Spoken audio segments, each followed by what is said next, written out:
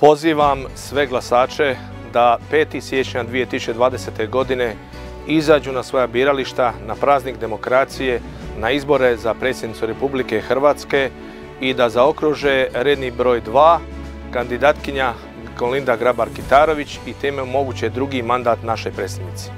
Kolinda Grabar-Kitarović, predsjednica, jer Hrvatska zna.